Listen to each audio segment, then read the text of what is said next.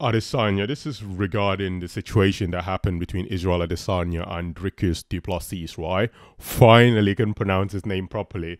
I remember calling him Dracos Du Plessis, like Dracula or something like that. Where is he a zombie? Do you know what I mean? But Dricus Du Plessis, and the question is, when Adesanya came in the octagon, was he right to call Du Plessis the N-word, right? So he came and said, what's up?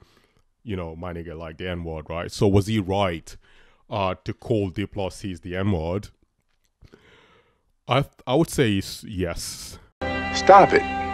Get some help. And the reason why I would say yes is because the word, the N word, is a word that has been appropriated by black people to sound uh, more like a friendly gesture towards someone who's anyone, like could be your friends, could be anyone, including white people. Whereas in the reverse context, if white people use the N word, it's generally got a negative connotation, right? So when Adesanya walked into in the octagon and called him the N word, he's just saying, "All right, what's up, my African brother?" If obviously Dricus Du Plessis believes that he's more African than him, I know the situation is, uh, he's been sarcastic, not gonna lie. It's not like trying to explain or demonstrate to him that I'm more African than you are. Hence, he used the N word, tried to see if Du Plessis could say it back. And the fact that he can't say it back really tells you that, you know, it's not black.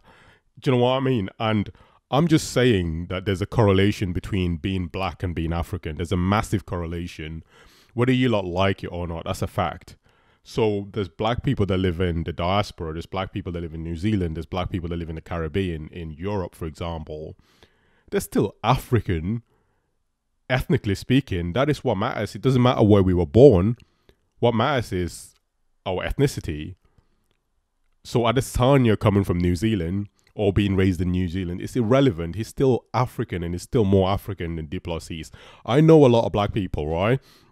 In Britain who were born in this country, who are literally of African origin, so they might be second generation or third generation British, never been to Africa before, but they're still more African than Du Plessis, and that's hard for you lot to digest.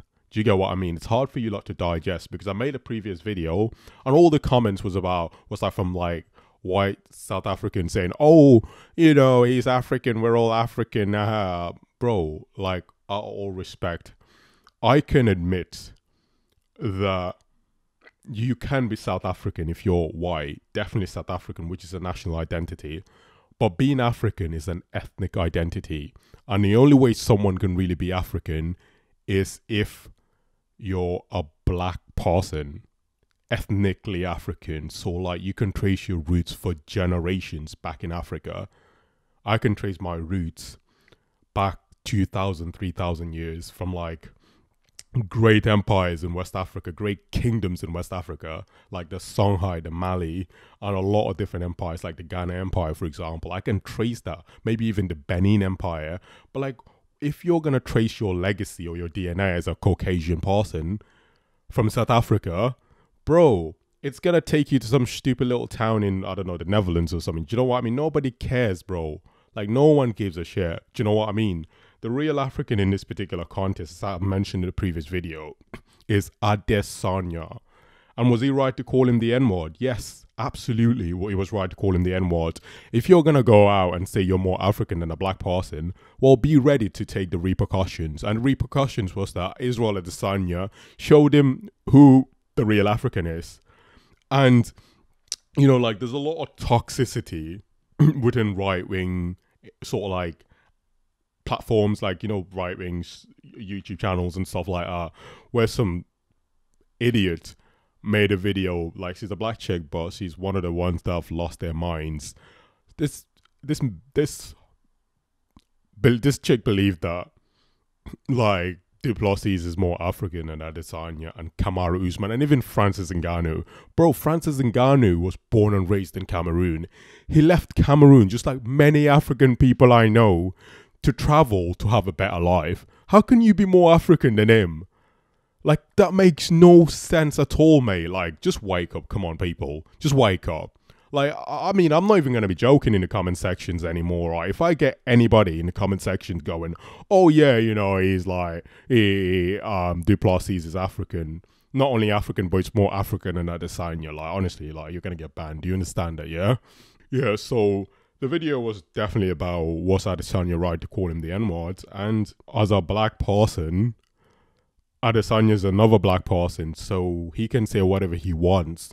If he wants to say the N word, I can't stop him. I can't. I can't. I don't have a say. I can't say, "Oh, you can't use the N word." He's another black person. Do you get what I mean? He's another black person, so he can say what you want to say. Do you know what I mean? So if he calls Du Plessis my nigga like the N word, okay, and what? What? Like what? What's the big deal? What's the big deal out of it? Who cares? Do you get what I mean?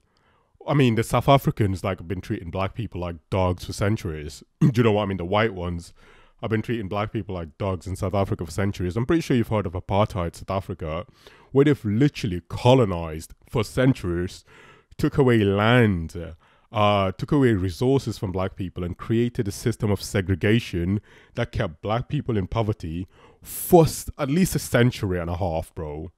Literally. So I don't want to hear any complaints about oh this or that. No, no, no, no, no. There's only one African. There's two actually. There's three Africans more African than Du Plessis. Kamaru Usman, the Nigerian nightmare from Auchi, Nigeria. Francis Ngannou from Batié, Cameroon. And Israel Adesanya from Lagos, Nigeria. Ten times more African than that white geezer that lives in South Africa. That fucking white meathead. It's like, oh, I'm so African, mate. You're a joke. Like, you're not an African geezer, mate. Go away. Go home. Go to sleep, mate. Do you know what I mean? So the are calling you the N word, right? And everyone is like complaining. I, obviously, I see Du Plessis like he's a decent geezer, right? He seems respectful and stuff. Do you get what I mean? I understand that. I think he's a nice geezer. Do you know what I mean? I respect him.